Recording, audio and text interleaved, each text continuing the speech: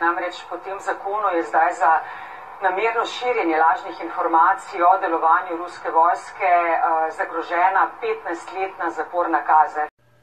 Dober večer. Ja, tukaj v Kijevu močno sneži in kot lahko vidite, so ulice še uro pred policijsko uro že skoraj da popolnoma prazne. Tu in tam vidimo, kak avtomobil ljudi skoraj da ne.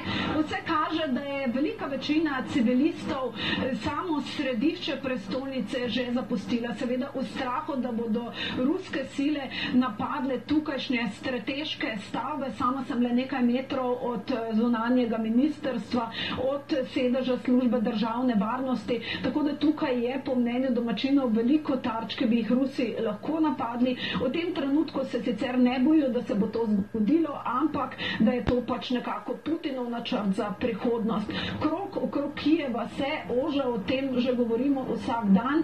Rusija kopiči svojo vojsko, ampak kot slišimo od domačinov, se konvoj premika počasi.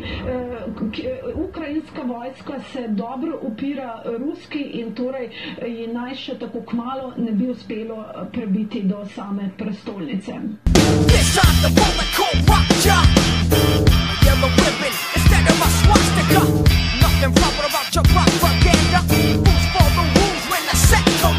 We just need to make sure that nobody knows until everybody knows.